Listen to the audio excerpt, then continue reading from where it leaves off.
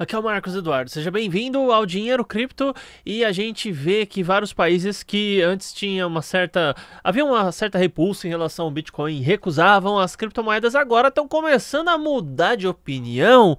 Olha só que legal, né? Bom, vamos comentar a respeito desse assunto. Se inscreve aí no canal, ativa o sino das notificações.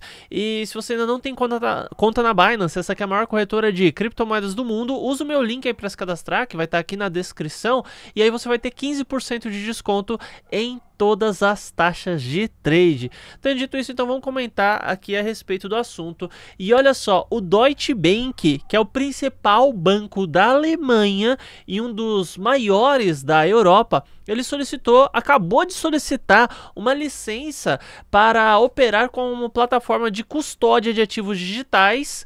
É, isso, essa solicitação foi feita para o regulador financeiro alemão, que é a Autoridade Federal de Supervisão Financeira que é chamado o Bafin.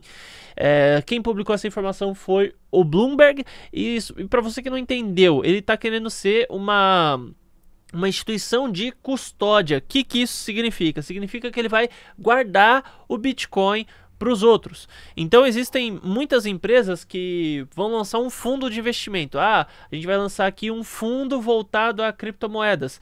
Então é, é, eles não vão diretamente comprar criptomoedas, eles vão pegar uma representação de cota dentro de um outro banco, de, de, um banco ou uma instituição que já tenha criptomoedas e dê para eles uma espécie de certificado. Ó, oh, vocês têm sim criptomoedas, entende?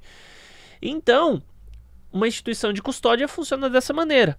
E eles querem ser. E o interessante é que, se eles querem ser uma instituição de custódia, não é só porque estão fazendo graça. É porque de fato eles identificaram que tem mercado para isso.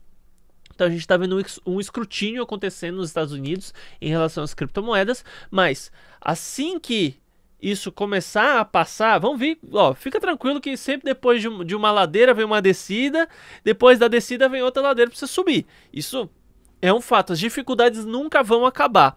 Mas quanto mais dificuldades é, de regulamentação e burocráticas o Bitcoin enfrenta, mais o Bitcoin se torna forte diante disso tudo. Então eu acredito que as criptomoedas estão aí em um patamar excepcional. É uma prova de fogo que está acontecendo nesse exato momento e estamos diante de uma oportunidade nunca vista antes. O Bitcoin nunca despencou tanto assim, e claro, com exceção de 2017 para 2018, mas faz tempo que a gente não viu uma queda tão longa e tão íngreme assim como estamos vivendo agora. Então eu vejo que isso é uma oportunidade fantástica. Então é isso, muito obrigado a todo mundo que assistiu. Inscreva-se aí no canal se não é inscrito, ativa o sino e até mais.